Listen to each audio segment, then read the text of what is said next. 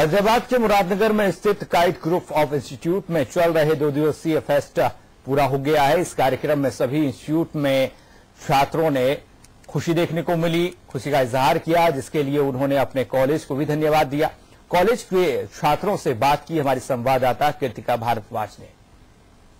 दो दिनों में आपको क्या अच्छा लगा यहाँ पर? डांस बेस्ट बेस्ट ओके आपकी कुछ और डांस मस्ती फुल ऑन टू एंजॉयमेंट आप बताएँ एंड कल जो बैंड आया था that was awesome and dance बहुत ज़्यादा अच्छा था।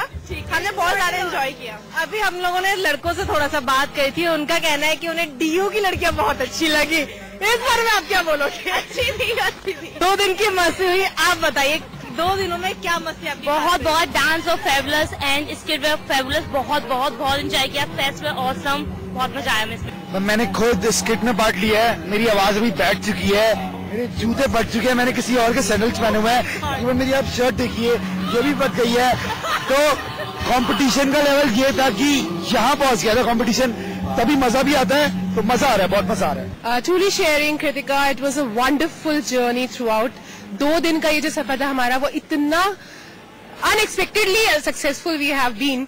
Because you never expected so much of participation first thing हमने सोचा था कि शायद हमारे पास ढाई सौ, तीन सौ, चार सौ, पाँच सौ तक के बच्चे बाहर के आएँगे but what we have receive is 1600 hundred participation so it was as success that way and truly cheering इतना सेटिस्फेक्शन अंदर से मिल रहा है कि हमने जो तीन महीने से, चार महीने से इतनी मेहनत लगा रखी थी।